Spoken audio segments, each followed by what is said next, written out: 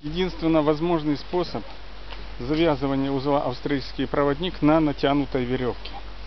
Мы берем веревку, показываю, пока упрощу, так, чтобы было видно хорошо. Складываем. Вот веревка, которая уходит у нас наверх. Вот так. О. Веревка, которая у нас уходит наверх. А снизу у нас большая нагрузка. Допустим, мы берем, складываем веревку вот так вот. Вот таким вот образом. Здесь получается восьмерка, здесь две веревки в одной руке. Даже если там будет большая нагрузка, мы рукой можем ее удержать.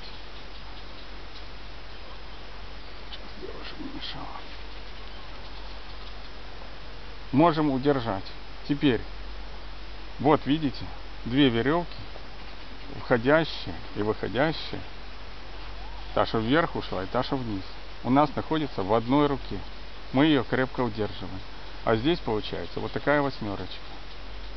Вот она. Еще раз показываю в маленьком виде. Вот она. Видно. Практически мы делаем эту восьмерку большой.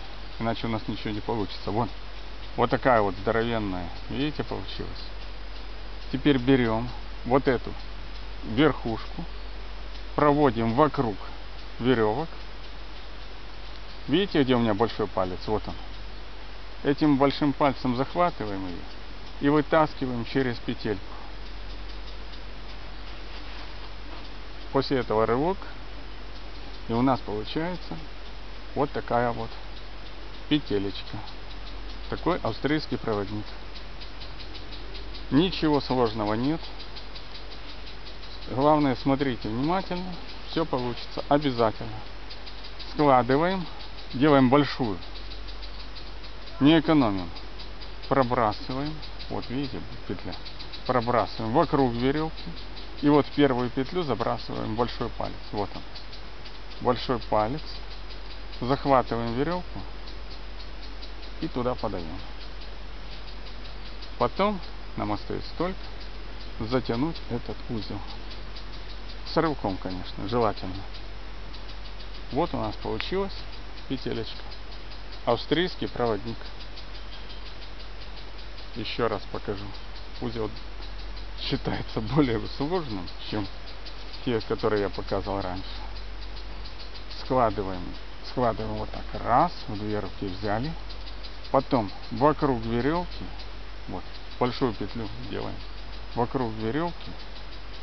И вот здесь вот у нас образуется сразу же вот петля, вот она.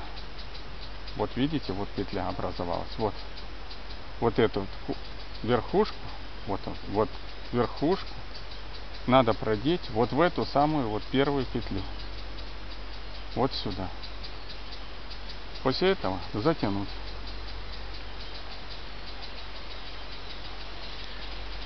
Показываю потихонечку, чтобы было все-все-все понятно. Все.